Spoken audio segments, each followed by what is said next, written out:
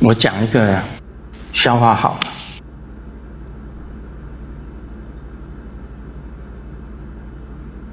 有一个女的跟闺蜜一起看宫廷剧，这个宫廷斗争的剧。这个女的就问闺蜜：“你看，以我的智商，在皇宫里面能够活几集？” 闺蜜讲：“就你这样子的身材。”这种面貌还想进宫啊？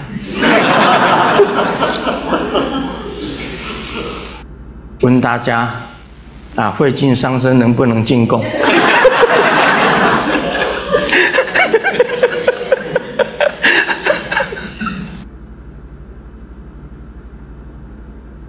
告诉你。我们这里就有两个皇宫出来的，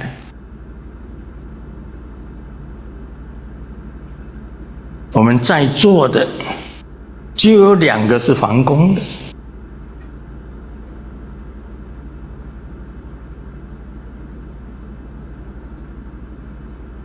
一个是周朝周穆王时代。周穆王时代的圣妃，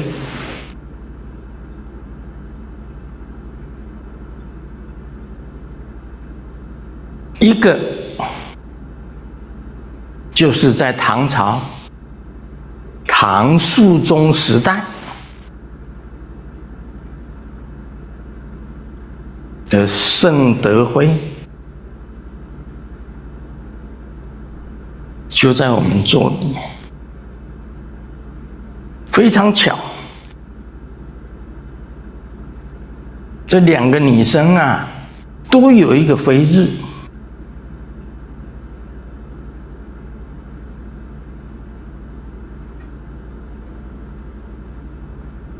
哎，刚刚大家看到了，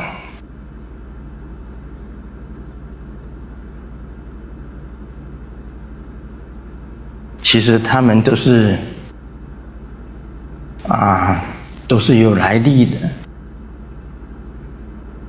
两个人名字都有一个“飞”字，一个“飞”字。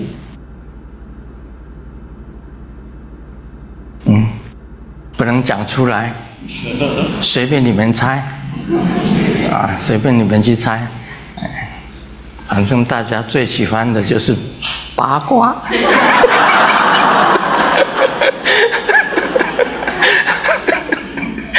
这人在世界上啊，你看小孩子刚出生，他就开始牙牙学语，一大堆小孩子在那边叽里呱啦讲的，不知道是什么东西，就是八卦。从小他就是八卦，一直到了这个老了还在八卦。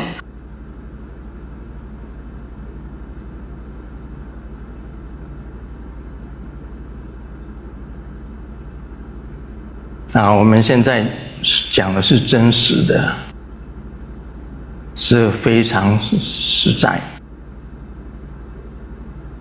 唐肃宗有唐玄宗，啊，唐肃宗、唐代宗，啊，不是太宗，唐代宗这三个皇帝。都是弘扬佛法，在那个时代，翻译了非常多的经典。唐朝的时候，周朝的穆王是唯一一个到了瑶池仙境的皇帝，周穆王。在历史上记载的周穆王，到了瑶池仙境的一个皇帝。